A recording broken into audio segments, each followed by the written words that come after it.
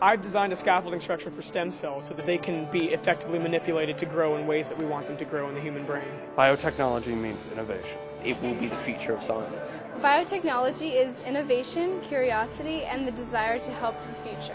Biotechnology is innovative, revolutionary, and most important, needed.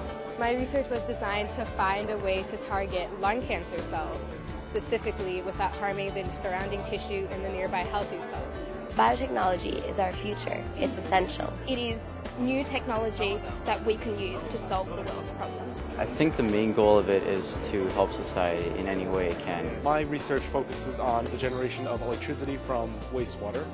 And what this does is it cleans wastewater and produces energy from this process instead of taking energy away. I'm using a uh, virus called the mycobacteriophage, which I discovered to uh, try and find the tools to uh, cure or prevent uh, tuberculosis. Biotechnology is bridging a gap between the actual scientific ideas and the industries.